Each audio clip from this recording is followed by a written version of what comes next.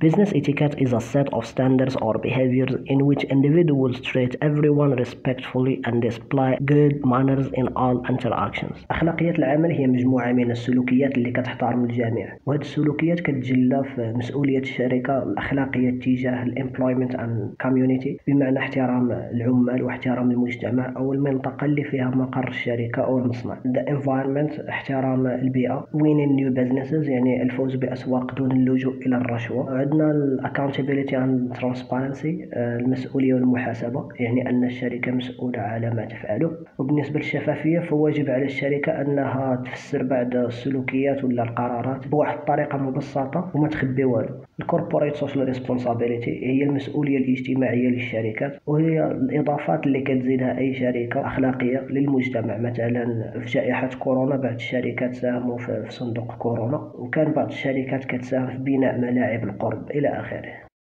business across cultures كتعني المجهودات اللي كتقوم بها كل شركة لضمان التفاعل مع مهنيين ولا موظفين من مختلف الخلفيات الثقافية.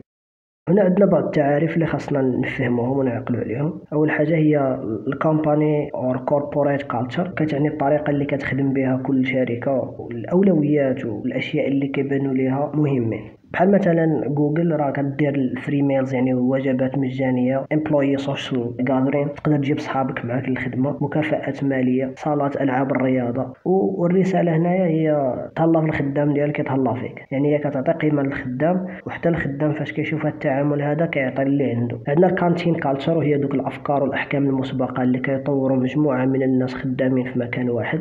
مثلا العنصرية تجاه بعض الموظفين هذا شلح هذاك عروبي ما نهضرش معاه. ولا العنصرية داخل بعض الأجهزة؟ مثلا الشرطة اللي بعض المرات كيستخدموا بعض الكلمات ولا إجراءات عنصرية في حق المواطنين. long hour culture يعني واحد الشركة اللي كتستنى من الخدامة ديالها أنهم يخدموا ساعات طويلة يوميا. ال macho culture هي طبيعة العمل اللي فيه خطورة كبيرة ولا كيحتاج لبنية جسدية قوية واللي في غالب الأحيان كيكون مخصص للذكور بحال مثلا رجال الإطفاء وعمال البناء. وللاشاره فقط فهاد ال macho culture جات من macho وماتشو كتعني الرجل القوي. إلا فهمتوا هاد الأنواع ديال الثقافة راه غيجيكم التمرين رقم سبعة سهل distance and familiarity. قلنا باللي أن كل شركة عندها الثقافة الخاصة بها. ومن بين عناصر الثقافة اللي كتميز كل شركة هي distance and familiarity. يعني مسافة آه، ما بين ال managers والأشخاص اللي خدامين عندهم. ناخذ جوج ديال الشركات. واحد الشركة ا وواحد الشركة ب في الشركة ا ساهل أنك تهضر مع ال manager ديالك. وعندهم حتى ثقافة إدراج الموظفين ولا العمال في اتخاذ القرارات. هنا نقولوا بلي أن الشركة أ ماشي هرمية ماشي ماشي hierarchical أما في الشركة ب فصعيب أنك تقرب من ال manager والعمال غير كيتلقاو الأوامر بدون المشاركة في اتخاذ أي قرار. يعني نقولوا أن الشركة ب هرمية ولا hierarchical عند English speaking business ولا عالم الأعمال باللغة الإنجليزية كنستعملوا الاسم الشخصي للفرد واخا هذا السيد ما كنعرفوش مزيان يعني كنعرف عليه غير السمية الشخصية ديالو نستعمل الاسم الشخصي ديالو. إلا ما كنتش كنعرف الاسم الشخصي ديالو غنستعمل mister plus last name يعني نستعمل title يعني ماستر زائد الاسم العائلي. بالنسبة للرجال أما بالنسبة للنساء فنستعملوا misses ولا miss plus last name ونتفاداو أننا نستعملوا ماستر ولا miss بوحدها ولا مع الاسم الشخصي.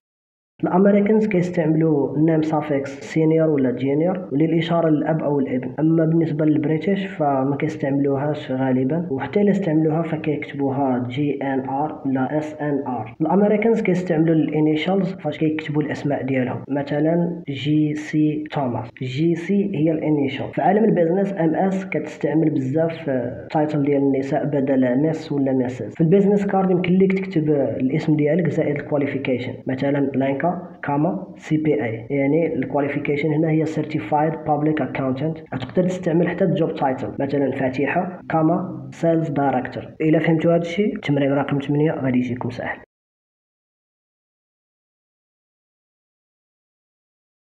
باقيين غير مع ثقافة الشركات وهذه المرة مع ال dress ولا ال outfit. ناخذ اربعه ديال الشركات مختلفة. آه مثلا الفلاند الموظفين كيلبسوا لبسه رسمية ولكن ماشي مشكل إذا شي حد لبس سروال والفيستا غير مطابقين. بريطانيا البدلة الرسمية واجبة وحتى اللون محدد في الأسود. غاماريا البدلة الرسمية ضرورية بحال بريطانيا ولكن ماشي طيلة أيام الأسبوع. نهار الجمعة كيسمحوا لهم بارتداء ملابس أقل رسمية. دلتا ماشي بالضرورة لبسه رسمية ولكن لبس مناسب ولائق.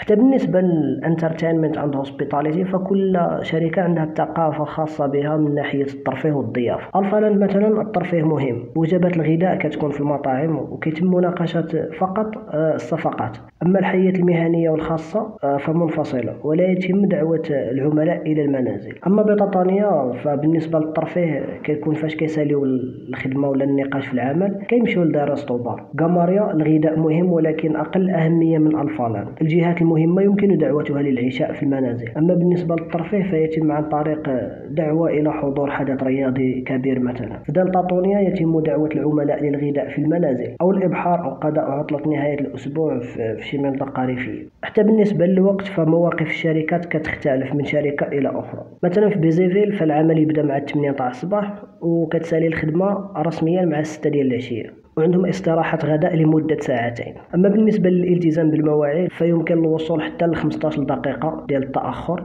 للاجتماعات. فاش تسالي الخدمة مع 6 ديال العشية ممنوع عليك أنك تتصل بشي واحد تدوي معاه على الخدمة وممنوع عليك أنك تتصل به ورا 9 ديال الليل. بالنسبة للعطل الرسمية عندهم حوالي 15 العطلة رسمية في العام. الموظفين كيحصلوا على عطلة لمدة خمسة أسابيع في السنة وعادة ما يأخذون أربعة منها في غشت. يعني أن ال businessman ولا ممثل ديال واحد الشركة خاصو يكون ملم بالثقافات ديال دول أخرى وحتى بعض الشركات باش ما يوقعش في سوء الفهم. وداك سوء الفهم يقدر يأثر حتى على طريقة النقاش ولا على شي صفقة. وهنا بعض الأمثلة اللي تقدر تؤدي لسوء الفهم في حالة أن الإنسان ما كانش مطلع على ثقافة البلدان الأخرى ولا ثقافة الغير. مثلا OK sign يعني ديك العلامة ديال OK.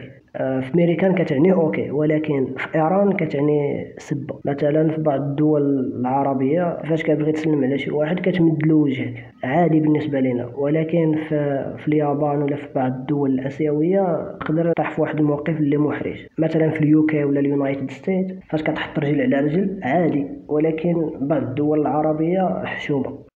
كخلاصة عامة لهذا الدرس هذا ال business etiquette كتعني كيفاش خاص الشركة الأخلاقية تكون. وشنو هما الجوانب اللي خاصها تراعي في التعامل ديالها مع الموظفين والمجتمع والبيئة وحتى التعاملات الخارجية مع الناس من مختلف الثقافات. خاصها تحترم الخصوصية الثقافية ديال هاد الناس وديال هاد الشركات وتفادى الوقوع في سوء الفهم. وما تنساوش ديروا طليلة على هذاك ال polycopes اللي حطوا لنا الأساتذة في ال site. فيه شي حاجة مبدلة على هادشي اللي عندنا في ال polycopes غير عليه طليلة قراوه وحاولوا تفهموه راه ساهل ماشي شي حاجة حاجة اللي صعيبة الله يوفق الجميع السلام عليكم.